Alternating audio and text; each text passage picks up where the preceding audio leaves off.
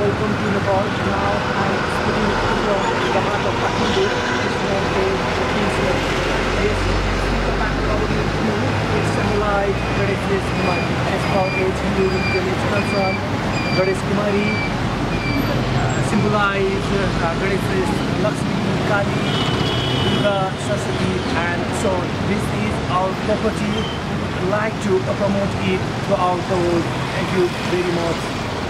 Namaste.